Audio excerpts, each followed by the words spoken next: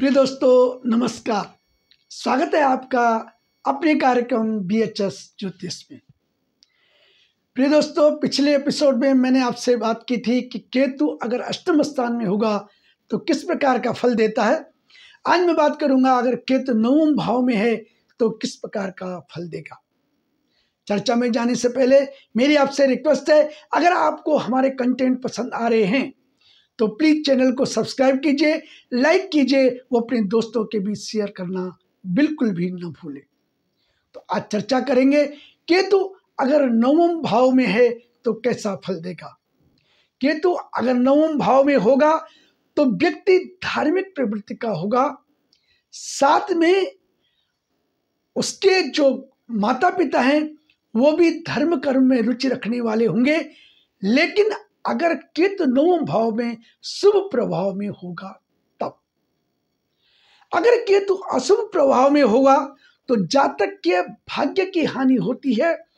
ऐसा जातक कोई भी काम करता है तो एंड टाइम पर, यानी आखिरी समय पर जो है, उसका काम रुक जाता है। ऐसा व्यक्ति धार्मिक यात्राएँ भी बहुत करता है।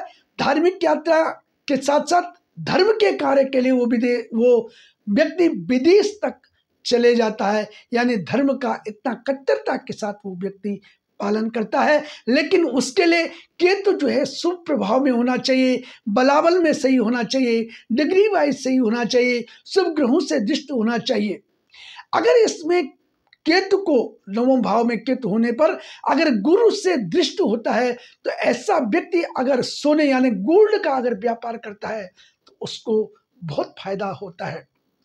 गुरु अगर से दृष्टि अगर केतु होता है तो व्यक्ति धार्मिक यात्राएँ तो करता करता है, साथ में केतु जो है फिर अशुभ फलों का जो है जो प्रभाव जो है, वो कम करता है। अगर गुरु की दृष्टि अगर केतु पर होगी और केतु बलवान होगा, उच्च का होगा और डिग्री वाइज शुरू बलाबल में अगर अच्छा होगा तो वो जो है व्यक्ति जो है भाग्य की हानि कभी होने नहीं देता है। यानी भाग्य से उसको बहुत ज़्यादा बेनिफिट होता है।